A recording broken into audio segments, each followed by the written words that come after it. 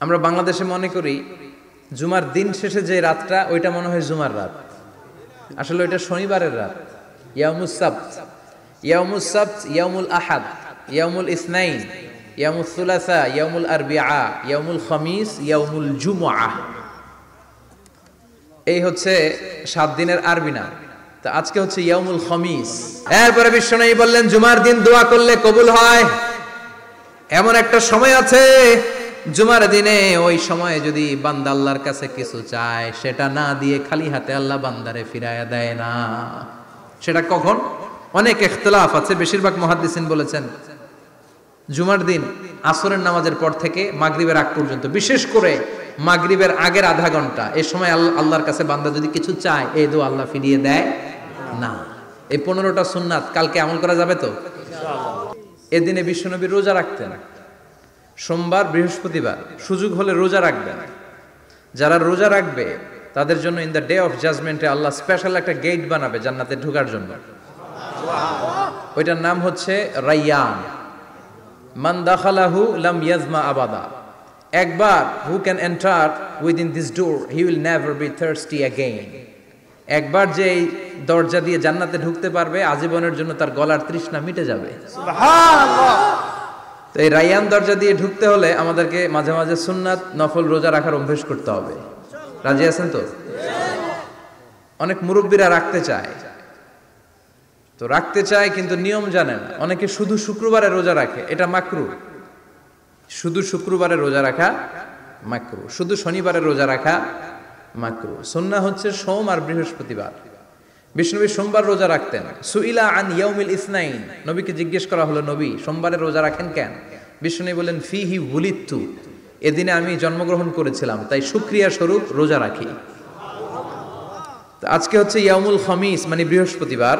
কিন্তু আজকে মাগরিবের পর থেকে, সূর্য ডুবার পর থেকে যে রাতটা শুরু হয়েছে, রাতটা কিসের রাত? জুমার রাত। এজন্য আমি সুরাতুল জুমা থেকে একটি আয়াত তালাওয়াত করেছি।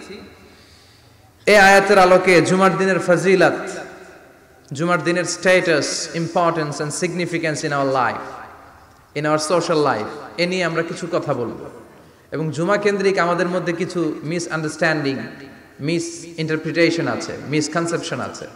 এগুলো নিয়ে আমরা কিছু কথা আজকে শুনব আমলের নিয়তে। কিসের নিয়তে? সবাই কি একমত? তাহলে এই প্রতি মুহূর্তকে কেয়ামতের ময়দানে আল্লাহ তাআলা মিজানের পাল্লায় রাখা হলে এটা উহুদ পাহাড়ের সমান ভারী করে দিবে। আর যদি আমলের নিয়ত না থাকে, এক ঘণ্টা, দেড় ঘণ্টা চলে যাবে। আমল নামায় এটার কোনো ওজনই হবে না। এজন্য যারা আসছেন সবাই শুরুতে নিয়ত খালেজ করে নেন যে যতক্ষণ শুনব, আমলের নিয়তে শুনব। আর মাঝখান দিয়ে ওঠা বসা করবেন কারা কারা, এখনই একটু হাত তুলেন দেখি। দু একজন তুলছে ভুলে। আচ্ছা। কেউ উঠবেন না তো? কথা দিছেন? ওঠা বসা করাটা আমি পছন্দ করি না। খুব অল্প কয়েক মিনিট কথা বলব কিন্তু যতক্ষণ বলব আমরা মনোযোগ দিয়ে শুনব। ইনশাল্লাহ পড়েন? আরও জোরে ইনশাআল্লাহ। তা আজকে আমরা যে সুরাটা থেকে কথা বলব সুরার নাম সুরাতুল জুমা সুরার নাম? কথা কয় না। জুমা সুরাতুল জুমা আরবি শব্দ বের করার একটু চেষ্টা করবেন। করতে করতে মুখটা নরম হয়ে আসবে, তখন আরবি শব্দ বেরোবে। ইংরেজি শব্দ, হিন্দি শব্দ বলতে বলতে আরবি বেরোয় না আমাদের। হিন্দি কইতে গেলে সব মুখস্থ। এখন বাংলার চেয়ে আমাদের ছেলেপেলারা হিন্দি বেশি জানে। ঠিক কি না যে বাংলা ভাষার জন্য আমাদের সালাম সালাম, হাজার সালাম, ওই বাংলা ভাষারে ভুলে আমরা এখন হিন্দি ঢুকাইছি। তু যে দেখা তু হে জানা সানাম। সব মুখস্থ বলা। বানব দুম্মা চলে দুম। আছে না নাই? আল্লাহ হেফাজত কর। তো আজকে যে সুরা থেকে কথা শুনব, সুরার নাম সুরাতুল জুমা সুরার নাম? সুরাতুল জুমা বলেন সুরার নাম কি? সবাই বলেন সুরাতুল আবার বলেন সুরাতুল এই তো হয়ে গেছে। I consider this program as a class class মনে করি। আই কনসিডার দিস তাফসির এজ এ ক্লাস তো উত্তর করতে হবে। টিচার প্রশ্ন করলে কি করতে হয়? উত্তর করলে আমরা কিছু শিখে যেতে পারব। ইমানের একটা চেতনা লাগবে। ঘুমায় পড়লে হবে না। ঘুমায় থাকে যারা ওই শ্রোতাদেরকে আমি বক্তব্য শোনাই না। আমি বক্তব্য শোনাই যারা জেগে থাকে। যাদের ইমান জ্বলে ওঠে, ঠিক কিনা? যে ইমান প্রয়োজনে জ্বলে ওঠে না। যে ইমান সত্য ন্যায়ের কথা বলে না। যে ইমান প্রয়োজনে জ্বলে ওঠে না, যে ইমান সত্য ন্যায়ের কথা বলে না, যে ইমান বাস্তবে নাই, যে ইমান অন্তরে নাই, মুখে শুধু ফাঁকা বলি, কি করে তারে বলো ইমানে বলি, কি করে তারে বলো ইমানে বলি কি করে তারে বলো ইমানে বলি ঠিক কিনা? যে ইমান দিন কায়েমের আন্দোলনের ধার ধারে না যে ইমান পোশাকধারী কোরআন হাদিস তাও পড়ে না যে ইমান খাজার নামে মাজার গড়ে ফুলুস কামায়। আছে আছে? রাজা মেয়ারে নাই? আছে? এগুলোর সাথে আমাদের কোনো সম্পর্ক কবরে পড়ে থাকা ব্যক্তির কাছে কিছু চাওয়া যাবে? না। চাইতে হবে একজনের কাছে তিনি কে? যে ইমান দিন কায়েমের আন্দোলনের ধার ধারে না যে ইমান লেবাসধারী কোরআন হাদিস তাও পড়ে না যে ইমান খাজার নামে মাজার গড়ে ফুলুস কামায় যে ইমান শিরকিয়াতের আমল করে ভীত না হয় যে ইমান বাস্তবে নাই যে ইমান ময়দানে নাই, মুখে শুধু কথার কলি, কি করে তারে বলো ইমানে বলি? কি করে তারে বলো ইমানে বলি? কি করে তারে বলো ইমানে বলি? ঠিক কিনা এজন্য মুমিন জ্বলে উঠবে আপন শক্তিতে। এখন রবির এলাকায় জ্বলে উঠুন আপন শক্তিতে। আপন শক্তিতে জ্বলে উঠবে ইমানদারেরা। ইমানের তেজে চিল্লায় বলেন ঠিক কিনা? সুরার নাম? সবাই বলেন। আরও জোরে। সুরাতুল জুমা। এটা মাদানী সুরা। কি সুরা? বিশ্বনবীর লাইফের দুইটা ইনিংস। একটা মাক্কি ইনিংস মাদানি। আর একটা মাদানী ইনিংস। মাক্কি ইনিংস তেরো বছর। কয় বছর? মাদানী ইনিংস দশ বছর। কয় বছর? মনে থাকবে? এটা বিশ্বনবীর সেকেন্ড ইনিংসে নাজিল হয়েছে। সুবহানাল্লাহ কবেন না? মাদানী ইনিংসে নাজিল হয়েছে এই সূরা। মাক্কি ইনিংসে নয়। বিশ্বনবীর মাক্কি জীবন আর মাদানী জীবনের কিছু পার্থক্য আছে। মাক্কি জীবনে বিশ্বনবী খুব নীরব ছিলেন। চুপিসারে তাওহিদের কথা বলতেন। মাক্কি জীবনে বিষ্ণবী সবচেয়ে বেশি ফোকাস দিয়েছেন তাওহিদের প্রতি। কিসের প্রতি? তাওহিদেরই মুর্শিদ আমার মোহাম্মদের নাম বলো। মোহাম্মদের নাম আল্লাহর নাম জপলে বুঝতে পারি। আল্লাহরই কালাম বলো মোহাম্মদের নাম। ওই নামেরই রশি ধরে যাই আল্লাহর পথে। ওই নামেরই ভেলায় চড়ে ভাসি নূরের স্রোতে, ওই নামের বাতি জেলে দেখি আরও সের মুকাম, বলো মোহাম্মদের নাম তৌহিদেরি মুর্শিদ আমার মোহাম্মদের নাম, বলো মোহাম্মদের নাম, পড়েন আল্লাহ আকবার। ম্যাকিনিংসের কর্মসূচি ছিল তৌহিদ, ছিল রিসালাত, ছিল আখেরাত। এগুলোর কথা বিশ্বনবী বুঝিয়েছেন। আর মাদানী ইনিংসে বিশ্বনবী সশস্ত্র সংগ্রাম করেছেন। ইসলাম শান্তিপূর্ণ ঠিক আছে, কিন্তু ইসলামের পিঠ যখন দেয়ালে লেগে যায়, তখন ইসলামেরও সামনে বাড়ানোর দরকার আছে না নাই?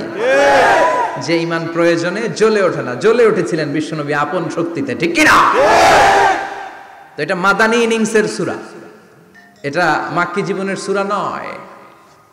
আমরা এই সুরার আলোকে আজকে শোনার চেষ্টা করব যে জুমার দিনের, জুমার সালাতের এত গুরুত্ব কেন? বিষ্ণুবী জুমার দিনকে বলেছেন ঈদের দিন ঈশের দিন? কথা বলেন। আমাদের দুইটা ঈদ আছে না? ঈদ উল ফিতর ঈদ উল আজহা। এর পাশাপাশি জুমার দিনকেও বিষ্ণু ইসা ইসলাম বলেছেন হাদা ইয়ামুল ঈদ। হাদা ইয়ামুন জাআলাহুল্লাহু লাকুম ঈদান। তাবারানির হাদিস। বিষ্ণু বলেছেন, এটা এমন দিন যে দিনটাকে আল্লাহ তাআলা তোমাদের জন্য ঈদের দিন হিসেবে ঘোষণা দিয়েছেন পড়েন, আলহামদুলিল্লাহ। আগামীকাল। দিনটা কবে? আগামীকাল। আল্লাহ তাআলার একটা বৈশিষ্ট্য হচ্ছে সুন্নাতুল্লাহি এক এক জিনিসের উপর আল্লাহ এক এক জিনিসকে বৈশিষ্ট্যমণ্ডিত করেন। মর্যাদা দান করেন। ফদ্দলা জামান আলা জামান কামা ফদ্দলা মাকান আলা মাকান। ইনসান আলা ইনসান। আল্লাহ ব্যক্তির উপর ব্যক্তিকে প্রাধান্য দেন। আল্লাহ সময়ের উপর সময়কে প্রাধান্য দেন। আল্লাহ স্থানের উপর স্থানকে প্রাধান্য দেন। এটা আল্লাহর সুন্নাত। এটা আল্লাহর কি? সুন্নাতুল্লাহি ফিত তাফদিল। ফদ্দলা জামানান আলা জামান। কামা ফদ্দালা মাকানান আলা মাকান। ইনসানান আলা ইনসান। পৃথিবীর সব মানুষগুলো এক রকম নয়। এক মর্যাদার নয়, আবার লক্ষাধিক নবী আল্লাহ দুনিয়ায় পাঠিয়েছেন। সব মর্যাদার, সব নবীর মর্যাদাগুলো কি সমান নাকি? সব নবীদের মধ্য থেকে বিশ্ব নবীর মর্যাদা বাড়িয়ে দিয়েছে কে? আবার পৃথিবীতে শহরের শেষ নাই, হাজার হাজার শহর শহরের মধ্য থেকে মক্কা শহরের মর্যাদা বাড়িয়ে দিয়েছে কে? আবার এই পৃথিবীতে অনেকগুলো সময় আছে, অনেকগুলো রাত্রি আছে। অনেকগুলো ক্ষণ আছে অনেকগুলো মুহূর্ত আছে। একটা মুহূর্তের উপর আরেকটা মুহূর্তকে প্রাধান্য দিয়েছে কে? বলেন তো পৃথিবীতে সবচাইতে তিনশো পঁয়ষট্টি দিনের মধ্যে শ্রেষ্ঠ দিন কোনটা? আরাফার দিন। কোন দিন? কথা বলেন। হজে যারা গিয়েছেন আরাফার দিন দেখেছেন না? ইজহার আর রেদা পরে আমরা লাব্বাইক আল্লাহুম্মা লাব্বাইক বলি। এটা সারা বছরের মধ্যে শ্রেষ্ঠ দিন। আল আরাফা আল হাজ্জ আরাফা। আরাফাটাই হজ। কেউ যদি আরাফার দিনে থাকতে পারে তার হজ হয়ে গেছে। আলহামদুলিল্লাহ কোন আলহামদুলিল্লাহ। আর হজে সব করেছে আরাফা করে নাই। হজ হবে? না। কথা বলেন হজ হবে? না। তার মানে বছরের শ্রেষ্ঠ দিন আরাফার দিন। এদিন আল্লাহ এত সংখ্যক বান্দাকে একসাথে ক্ষমার ঘোষণা দেন বছরের কোন দিন এত মানুষকে ক্ষমা করেন না। আবার শয়তান ওই দিনে এতটা লাঞ্ছিত বোধ করে এতটা অপমান বোধ করে বছরের কোনো দিন শয়তান এত অপমানিত হয় না। এজন্য বিশ্বনবী বলেছেন খৈরুদ দোয়া দোয়া ও আরাফা।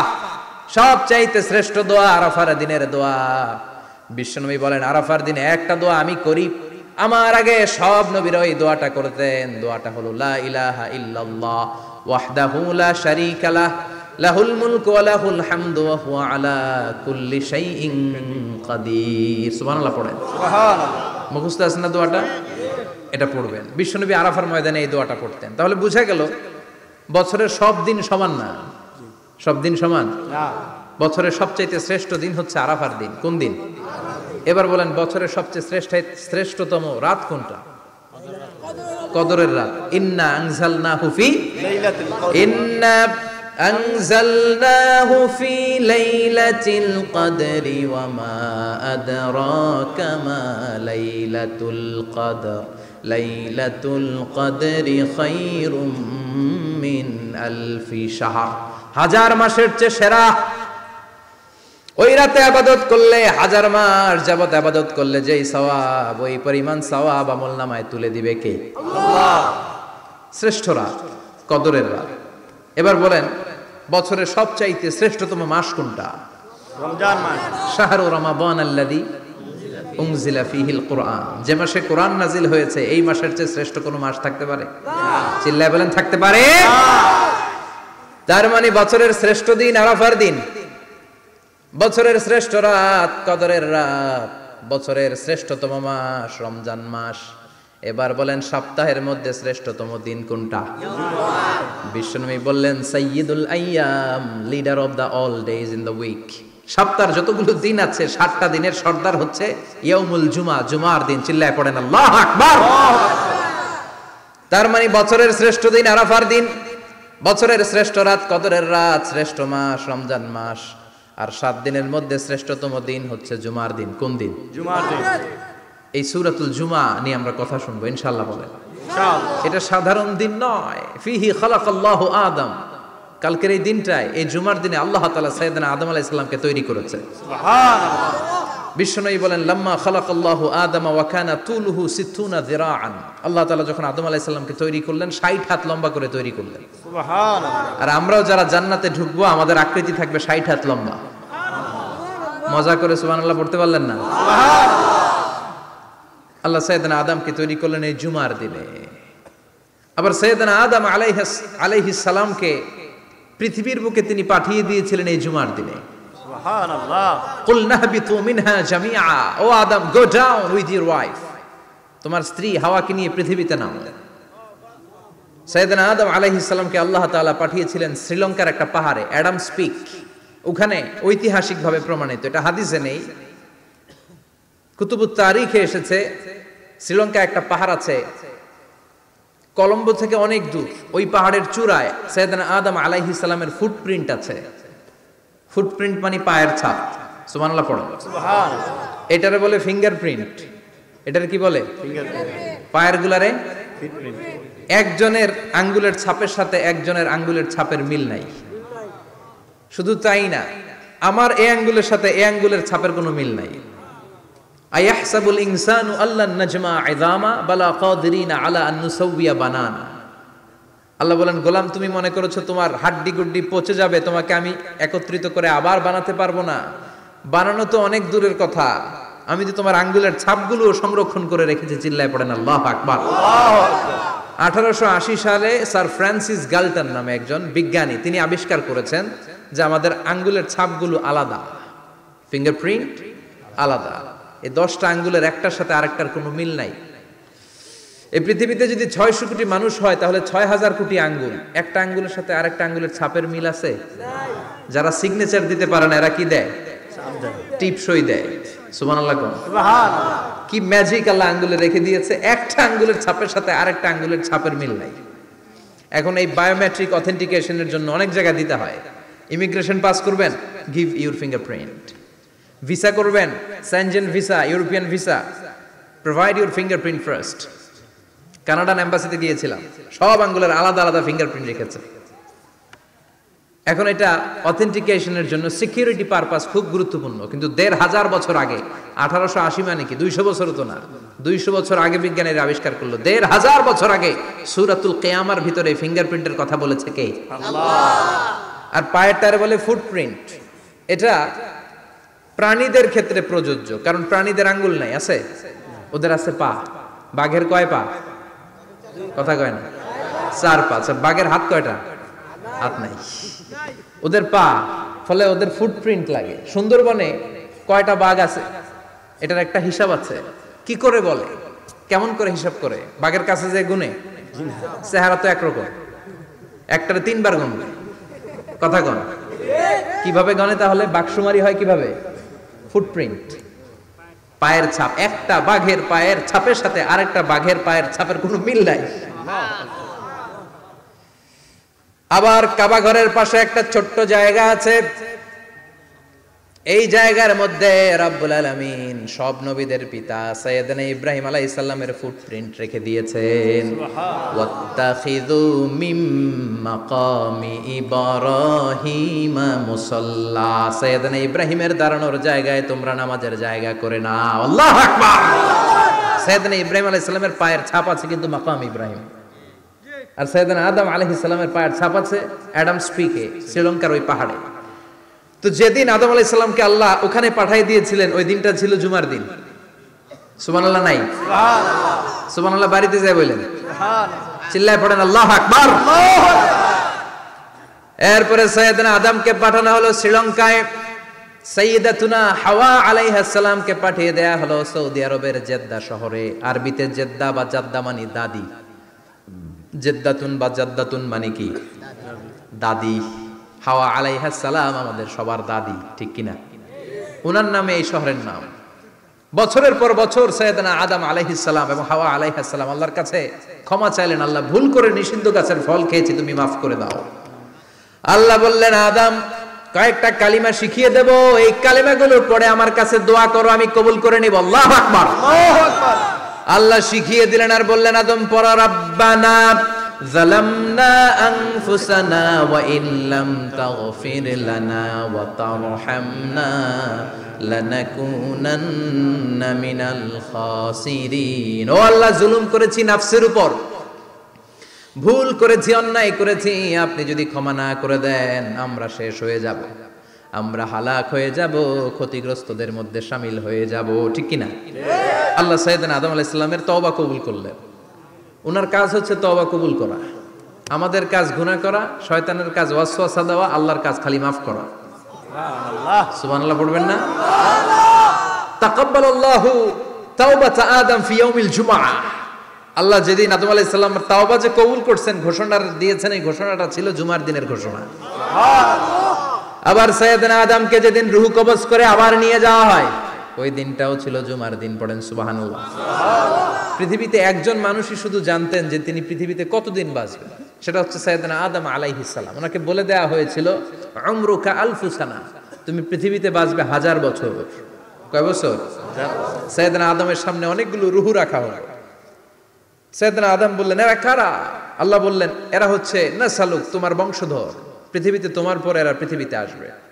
সৈয়দনা আদম বললেন, আল্লাহ, ওই যে একটা রুহু দেখা যায়, এটার নাম কি?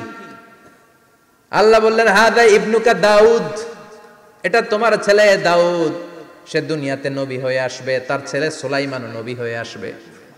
সৈয়দনা আদম বললেন, মাবুদ, আমার ছেলে দাউদের কত বছর হায়াত আপনি দিয়েছেন? আল্লাহ বললেন আর বাউনা সানা, মাত্র চল্লিশ বছর ফোর ইয়ার্স চল্লিশ বছর তোমার ছেলেটা বাঁচবে।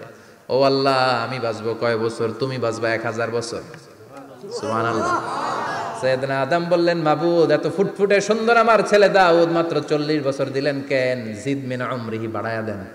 কি করেন? সুপারিশ করতেছে পোলার লাইগা কে? বাবা। আল্লাহ আপনি বাড়ায়া দেন আল্লাহকে বাড়ানো যাবে না। লেখা হয়ে গেছে। রুফিআতিল আকলাম ওয়া জাফফাতি সুহুফ। কলম তুলে নেওয়া হয়েছে আর কালি শুকায় গেছে আর কিছু করা যাবে সৈয়দনা আদম বললেন মাবুদ আমার এক হাজার বছর কেন দিলেন? আমার এই সুন্দর ফুটফুটে ছেলেটারে মাত্র শুধুমাত্র চল্লিশ বছর কেন দিলেন? ও মাবুদ, আমার এক হাজার বছরের দরকার নাই। আমার এক হাজার বছর থেকে ষাট বছর আমি আমার ছেলেরে দিয়ে দিলাম। দাউদ আলাইসাল্লাম বাঁচবে চল্লিশ বছর। তো বাপ, আদম যদি আরও ষাট দেয়, চাই চল্লিশ আর ষাট নিলে কত হয়? ভালো হিসাব বোঝে। একশো। আর আদম আলাইসাল্লাম পেয়েছিলেন হাজার বছর। ষাট কমে গেলে রইল কত? নয়শো চল্লিশ বছর পৃথিবীতে থাকার পরে মালাকুল মাউত চলে এসেছে। কারণ এটা on time the dash will come on time it never late কখনো দেরি হয় না। আল্লাহ বললেন, লিকুল্লি উম্মাতিন আজালুম, ফাইদা জাআ আজালুহুম লা ইয়াস্তাখিরুনা সাআতাও ওয়ালা ইয়াস্তাকদিমুন। মৃত্যুর একটা নির্ধারিত সময় আমি বেঁধে দিয়েছি অন টাইম অন টাইমেই চলে আসে এক সেকেন্ড আগেও আসবে না, এক সেকেন্ড পরেও আসবে না। নয়শো চল্লিশ বছর বয়সে মালাকুল মাউত এসে হাজির। এসে বলল জি ইতুয়ান আকবাদা রুহ হাক রুহু কবজ করতে আসছি। আদম আলাই সাল্লাম বললেন, রুহু কবজ করতে আসছো মানে? আমি বাসমতে এক হাজার বছর। কয় বছর? মালাকুল মাউত বললেন, না না, ওই যে আগের কথা স্মরণ করেন, আপনি ষাট বছর দিয়ে দিছিলেন। কয়, না, আমি দেই নাই। আমি আরও বাসুম। আরও ষাট বছর পাওনা আছি। আমি দেই নাই। মালাকুল মাউত বললেন, আপনি দিয়েছেন, আদম বলে দেই নাই। মালাকুল মাউত বলে, আল্লাহ ঘটনা দেখেন, দিয়া কয় দেই নাই। আল্লাহ কয়, থাক, কথা কইস না, আয়া পর সুবহানাল্লাহ পড়ো। নাসিয়া আদম, ফানাসিয়া বানু, ভুলে গেছেন উনি। আমরা ভুলে যাই, আমরা খেয়ে বলছি, খাই নাই। নিছিলাম পকেটে কয়, নেই নাই। এরকম ডাকাইত আছে না নাই? নাসিয়া আদম ফানাসিয়া বানু বিশ্বনবী বললেন আদম ভুলেছে তো তার সন্তানরাও ভুলে যায়। জাহাদা আদম ফা জাহাদা যুররিয়াতু। আদম অস্বীকার করেছে তার সন্তানরাও অস্বীকার করে। সেদিন থেকে আল কিতাব ওয়া শুহুদ মানে লিখে রাখার সিস্টেম আর সাক্ষীর সিস্টেম চালু হয়েছে। সুবহানাল্লাহ পড়েন। নয়শত চল্লিশ বছর বয়সে মালাকুল মাউত এসে আদম আলাইসাল্লামের রুহু নিতে পারে নাই। উনি এক হাজার বছর যখন হয়েছে তখন এসে সৈয়দান আদম আলাইসাল্লামের রুহু কবজ করেছে। যেই দিন পৃথিবীর প্রথম মানব প্রথম নবীর রুহু মালাকুল মাউত দুনিয়া এসে কবজ করেছে ওই দিনটাও ছিল জুমাবার। আল্লাহ আবার বিষ্ণু বললেন লা তাকুমুস সাআহ ইল্লা ফি ইয়াউমিল জুমআহ إذا زلزلت الأرض زلزالها وأخرجت الأرض أثقالها إذا رجت الأرض رجا وبست الجبال بسا কেমতের দিন পৃথিবীটাকে একটা প্রকম্পন দিয়ে কাঁপিয়ে দিবে কে মারাত্মক একটা ঝাঁকুনি দিবে আল্লাহ পুরো পৃথিবীটা কেঁপে ভেঙে চুরে খান খান হয়ে যাবে এই ঝাঁকুনি আর আর্থকোয়েক ভূমিকম্প এর ঘটনাটা যেদিন ঘটবে ওই দিনটাও হচ্ছে জুমার দিন। চিৎকার করে পড়েন সুমান আল্লাহ তার মানে আদম সৃষ্টি হলো জুমার দিনে দুনিয়ায় নামিয়ে দেয়া হলো জুমার দিনে তওবা কবুল করে কবুল করে নেওয়া হলো জুমার দিনে। রুহু কবজ করা হলো জুমার দিনে আবার কেয়ামত সংগঠিত হবে জুমার দিনে পড়েন সুবহানাল্লাহ। আবার বিশ্বনবী বললেন আর রমাদান ইলা রমাদান। এক রমজান থেকে আরেক রমজানের মাঝখানে যত গুনাহ হয় মাফ করে কে? আল্লাহ।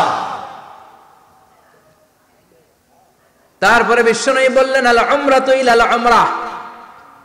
কেউ যদি একবার উমরা করে পরে আবার করলে দুই উমরার মাঝখানে গুনাহগুলো মাফ করে দেয় কে? আবার বিশ্বনবী বললেন আল জুমাআতু ইলাল জুমআ কাফফারাতুন লিমা বাইনাহুমা। এক জুমার পর থেকে সামনের জুমা আসা পর্যন্ত যে সগিরা গুনাহগুলো হয় সবগুলো সগিরা গুনাহ মাফ করে দেয় কে? রজব শাবানে বরকতে দাও রমজান মাসে গুনাহ ঝড়াও সপ্তাহ জুড়ে তুমি বরকতে দাও জুমার দিনেতে গুনাহ ঝড়াও রজব শাবানে বরকতে দাও রমজান মাসে গুনাহ ঝড়াও। ঠিক কি না তার মানে জুমার দিন গুনাহ মাফের দিন। সারা সপ্তাহে ভুল ত্রুটি অন্যায় যা করলাম জুমার নামাজের বদৌলতে সব গুনাহ মাফ করে দেয় কে? এই দামি দিনটাকে আল্লাহ ইহুদিদের দিতে চেয়েছিলেন পায় নাই। আলহামদুলিল্লাহ কবেন না? আলহামদুলিল্লাহ। ইখতলাফু তারা ইখতলাফ করে হারাইছে এটা। এই দামি দিনটা রব্বুল আলামিন না সারাদেরকে দিতে চেয়েছিলেন ফখতলাফু ওরাও ইখতলাফ করে হারাইছে। এজন্য ইখতলাফ ভালো জিনিস না খারাপ জিনিস?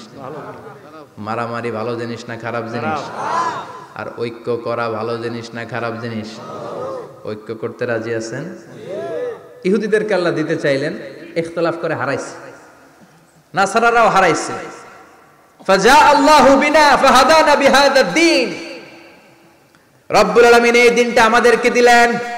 আমরা ইখতলাফ করি নাই বিশ্বনবীর হাতে হাত রেখে ঐক্য করে ঘোষণা দিয়েছি জুমার দিন আমাদের সাপ্তাহিক দিন সুবহানাল্লাহ। সুবহান বিশ্বনবী বলেন ফাগাদান লিল ইয়াহুদ সাপ্তাহিক আনন্দের দিন ইহুদিদের জন্য হচ্ছে শনিবার ইয়ামুস সাbt ও বাদা গাদলিন নাসারা। আর খ্রিস্টানদের জন্য হচ্ছে রবিবার আর আমাদের জন্য হচ্ছে শুক্রবার চিল্লায় পড়েন আল্লাহ আকবার। তার মানে জুমার দিন জুমাবারের মর্যাদা বেশি না কম? চিল্লায় বলেন বেশি না কম? জুমার দিন সকালবেলা ফজরের নামাজের পর থেকে ফেরেশতারা যতগুলো মসজিদে জুমা অনুষ্ঠিত হয় ওই মসজিদে ঢুকার প্রতিটা দরজার মধ্যে দাঁড়িয়ে থাকে। কারা কারা আগে আগে জুমার নামাজ পড়ার জন্য মসজিদে যায় প্রত্যেকের নামগুলো একটা জান্নাতের রেজিস্ট্রি খাতার মধ্যে তুলে নেয়। এই নামগুলো স্পেশালি আল্লাহর কাছে পাঠানোর জন্য। সুবহানাল্লাহ কবেন না? ডানে বায়ে সামনে পেছনে যতগুলো দরজা প্রতিটা দরজায় ফেরেশতারা বসে থাকে। কে আগে আসলো নাম তুলে দেয়? তুলতে তুলতে তুলতে তুলতে খতিব সাহেব যখন খুতবা দেওয়ার জন্য মিম্বারে যেয়ে বসে যায় ফেরেশতারা তাদের খাতা বন্ধ করে তারাও খতিব সাহেবের সামনে জুমার খুতবা শোনার জন্য বসে যায় পড়েন সুবহানাল্লাহ। প্রথম জুমার দিন জুমার মসজিদে যে ঢুকবে বিশ্বনবী বললেন আল্লাহর রাস্তায় একটা উট কুরবানি দিলে যে এই সওয়াব এই সওয়াব আল্লাহ আমল নামায় দিয়ে। দেয় দ্বিতীয় পর্যায়ে যে ঢুকে বিশ্বনবী বললেন বাকারা গরু কুরবানির সওয়াব পায়। তিন নম্বরে যে ঢুকবে বিশ্বনবী বললেন কাপসা হাদিসের ভাষায় এসেছে আল কাবাস কাবাস মানে হলো বকরি। বকরি কুরবানির সওয়াব চার নম্বরে যে ঢুকবে তার হচ্ছে দাজাজা। দাজাজা মানে মুরগি। পাঁচ নম্বরে যে ঢুকবে বিশ্বনবী বললেন বাইদা। নোয়াখালীরা কয় বয়দা আমরা কই আন্ডা। কুমিল্লায় কই ডিম। আছে না নাই? এক দেশের কত ভাষা? এক দেশের গালি আরেক দেশের বুলি। আমরা বলি ছেলে কুষ্টিয়ায় বলে পুত্র আরেক জায়গায় গেলে বলে হুত আরেক জায়গায় গেলে বলে ফোয়া। আছে না নাই? আছে। এক এলাকায় বলে বেটা ছেলে। ছেলেদেরকে বেটা ছেলে মরদ ফোয়া। মরদ ফোয়া হদ্দে না? মরদ ফোয়া হদ্দে আহা কি ভাষার বৈশিষ্ট্য? তো যেটারে আমরা বলি ডিম কোথাও বলে? আন্ডা কোথাও বলে? বয়দা। তো এই বয়দা আল্লাহর রাস্তায় দান করে দিলে যেই সওয়াব পঞ্চম ব্যক্তি ওই সওয়াব পাবে। এই পাঁচজনের পরে আর লেখালেখি নাই বাকিদেরটা নর্মাল নর্মাল এন্ট্রি করে সব ফেরেশতারা খুতবা শোনার জন্য বসে যায় সুবহানাল্লাহ। সুবহানাল্লাহ। তো জুমার দিনে আগে আগে যাবেন তো? সবাই রাজি? কথা কন। ওয়ালিয়াত লাত্তাফ একটা শব্দ আছে সূরা কাহাফের মাঝখানে। কোরআনের সব জায়গায় এক ফন্টে আয়াতগুলো লেখা কিন্তু ওয়ালিয়াত লাত্তাফ মোটা করে লেখা। আছে না? ডবল ফন্টে লেখা, মোটা, কারণ এটা কোরআনের একেবারে মাঝখানে অবস্থিত এই শব্দটা। লাত্তাফ এর আগে যত শব্দ, এর পরে তত শব্দ। এর আগে যত কোরআনের অক্ষর, এর পরে তত অক্ষর। সুবহানাল্লাহ, বাড়িতে গিয়া। বিষ্ণু বললেন, সূরাতুল কাহাফ যে তেলাওয়াত করবে ইয়াকুনুলাহু নূর। এই সূরাতুল কাহাফ কিয়ামতের দিন তার সামনে বিশাল একটা আলো হয়ে আসবে। এই আলো দিয়ে পুলসিরাত পার হয়ে ওই বান্দা জান্নাতের ভেতরে ঢুকে যাবে। আবার বিষ্ণু বলেন যারা সূরাতুল কাহাফের প্রথম দশ আয়াত তেলাওয়াত করবে জুমার দিন, শেষের দশ আয়াত যারা জুমার দিন তেলাওয়াত করবে, দাজ্জালের ফিতনা থেকে তাদেরকে মুক্ত রাখবে কে? সুবহানাল্লাহ পড়বেন না? কালকে সুরাতুল কাহাফ দিয়ে সকাল শুরু করতে রাজি আছেন? সবাই রাজি? এরপর তাবকির ইলাল মসজিদ, মসজিদে আগে আগে যাওয়া সুন্নত। আগে যিনি যাবে উনি কি পাবে? তারপরে গরু, তারপরে বকরি, তারপরে মুরগি। মুরগির পরে ডিম না আন্ডা? আন্ডা। আল মাসিও আলাল ইকদাম। বিষ্ণু বললেন, হেঁটে হেঁটে জুমার নামাজে যাওয়া সুন্নাহ। রিক্সা হুন্ডা, সাইকেল, সিএনজি দিয়ে গেলেও হবে, কিন্তু হেঁটে হেঁটে গেলে সব বেশি না কম? প্রতি কদমে কদমে আমল নামায় সওয়াব দিয়ে দিবে কে? এরপরে বিশ্বনয়ী বললেন, আদামু তাখাত্তি রেকাবান নাস, মানুষের ঘাড় ডিঙ্গিয়ে সামনে না যাওয়া সুন্নাহ। অনেকে জুমার দিন আসে সবার শেষে বসতে চায় সামনে এরকম ডাকাইতে আছে না নাই? রাজা মেহারে নাই। বিশ্বনবী জুমার খুতবা দিচ্ছেন। হঠাৎ এক সাহাবি সব সাহাবির ঘাট ডিঙ্গিয়ে ডিঙ্গিয়ে সামনে আসতেছে বুলেটের মতো। বিশ্বনবী বললেন থামো এ জেলেস বসো মিয়া। ফকত আজাইতা ওয়া আনাইতা আসছো দেরি করে আবার মুসল্লিদেরকেও কষ্ট দিচ্ছ। যেখানে জায়গা পাবেন ওইখানে বসবেন। মানুষের ঘাট ডিঙ্গিয়ে সামনের কাতারে যাওয়া এটা ঠিক না। এজন্য জুমার দিন আগে আগে আসার চেষ্টা করবেন। রাজি আছেন তো? এরপরে বিশ্বনবী বললেন, দুখুলুল মসজিদে রাকাতাইন। জুমার নামাজের দিন মসজিদে ঢুকার পরে দুই রাকাত পড়া সুন্নত। কয় রাকাত? রাজি আছেন? কবলাল জুমা বা আদাল জুমা। অনেকে প্রশ্ন করে বা আদাল জুমা চার রাকাত? মসজিদে পড়লে চার, ঘরে পড়লে দুই। কিন্তু কবলাল জুমা সুনির্ধারিত নয়, অনির্ধারিত। মা কত খুদ্দিরা লাগ, যত আপনার তৌফিকে কুলায় তুই রাকাত করে করে দুই, চার, ছয়। ইমাম সাহেব খুতবা দেওয়ার আগ পর্যন্ত। আপনি যদি আধা ঘণ্টা আগে যান, আপনি দশ রাকাত পড়তে পারবেন। চিল্লায় বলেন, ঠিক কিনা? এরপরে বিষ্ণু বললেন, ইনসাফ, চুপ থেকে খুতবা শুনবা। জুমার খুতবার সময় কথা বলা যাবে নাকি? কথা কম। বিশ্বনবী বললেন, তোমার সামনে কেউ কথা বলতেছে, তুমি যদি বলো, চুপ করো, এটাও তুমি খারাপ কাজ করছ। চুপ করো, তোমার কইতে কইছে কি? চুপ করো বলে তুমি আরেকটা বেজাল লাগাইছো। চিল্লাই বলেন, ঠিক কিনা? তাহলে জুমার নামাজে কথা বলা যাবে না। কেউ কথা বললে চুপ করো। এই কথাটাও বলতে বিশ্বনবী নিষেধ করেছেন চিল্লাই বলেন, ঠিক কিনা? এরপরে মজার একটা কথা বিশ্বনবী বলেছেন, জুমার নামাজ পড়তে যে যদি কারও ঘুম আসে, জায়গা চেঞ্জ করে বসো। জুমার নামাজ পড়তে যায় ঘুমান না, এরকম কে কে আছেন? আল্লাহর অলি হাত তোলেন। হাত তুলতে পারবেন? আমিও তুলতে পারব না। আমি কত ঘুমাইছি? জুমার খুতবা শুনতে গেলে ঘুমাস কারণ রহমত নাজিল করে কে? পুরো মসজিদের ডানে বায় রহমতে ঠাসা খালি ঘুম আর ঘুম। আছে না নাই? ঘুম আসলে কি করবেন? উঠে যাবে উঠে জায়গা চেঞ্জ করবেন। পানির ঝাপটা দিবেন। ঘুম দূর করে দিবে কে?